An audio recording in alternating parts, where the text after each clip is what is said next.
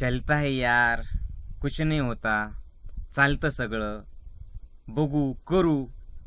आज नको उद्या। हे सगळे शब्द तुमच्या आयुष्यात तुम्हाला पुढं जाऊ देत नाहीत. किती गोष्टी ठरवल्यात तुम्ही आजपर्यंत? मी नियमितपणे चार तास अभ्यास करेल. मी रोज ध्यान प्राणायाम रेग्युलरली करेल. मी रोज लवकरच उठणार आहे. माझ्या आयुष्यात हे असं असं ध्येय आहे. एक दिवस केलं दोन दिवस केलं चार दिवस केलं नंतर चालतो. आणि चलता आहे असं म्हणणारे लोक. त्यांच्याकडे कारण खूप तयार असतात. हे कारण काय माहिती? तुमचा आळस दाखवतात. जो कारण न सांगता अविरत स्वतःला बघत स्वतःच स्वतःला मोटिवेट करत स्वतःच स्वतःची परीक्षा घेत अडचणींमध्ये सुद्धा त्याच्या फोकसला त्याच्या ध्येयाला इकडे तिकडे न होऊ देता जो शंभर टक्के त्याने जे ठरवलं ते करत असतो ना तोच यशस्वी होतो हे समजून घ्या. आजपासून स्वतःला फसवणं बंद करा टाइमपास करणं बंद करा. बरं तुम्ही करा नाही तर नका करू वैयक्तिक मला काही फरक पडणार नाही. पण जो झपाटून जात नाही त्याच्या अभ्यासासाठी तो विद्यार्थी यशस्वी होत नाही. जो झपाटून जात नाही त्याच्या ध्येयासाठी तो त्याचं ध्येय गाठू शकत नाही.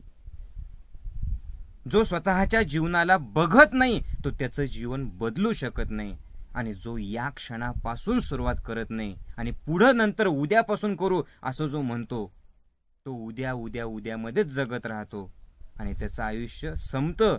पण तरीसुद्धा मग आयुष्य संपताना तो म्हणतो की आता पुढच्या जन्मी काहीतरी करू. बदलायचंय आत्ताच.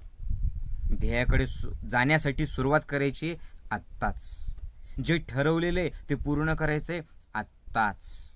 आणि त्यासाठी एक बुस्टर म्हणून वाटल्यास हे विचार वारंवार ऐकत राहा. हे रोज ऐकत राहा.